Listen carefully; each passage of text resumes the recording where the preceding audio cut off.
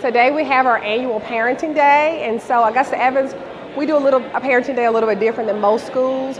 We have about 14 vendors here. We have agencies like AltaPointe, uh, Alabama Department of Mental Health, um, Mark, Children Rehabilitation Services, and then we have an actual guardianship clinic that we have about six volunteer lawyers that come in and help parents facilitate the probate court guardianship paperwork.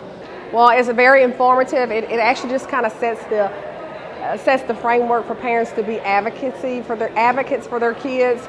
Um, each agency brings to the table a wealth of information about services that are available for children now and after they leave Augusta Evans. And so this is something that we put on annually. Uh, we have residential facilities that are here, uh, lots of uh, agencies in regards to uh, the Autism Society, respite care. So parents really gain a lot of wealth of knowledge so they can go forth and definitely have a better life for their kids. And so Augusta Evans, we host this every year uh, on Parenting Day statewide. And so if you have not had an opportunity to come, please do so. And we uh, look forward to parents throughout the district being able to have access to this.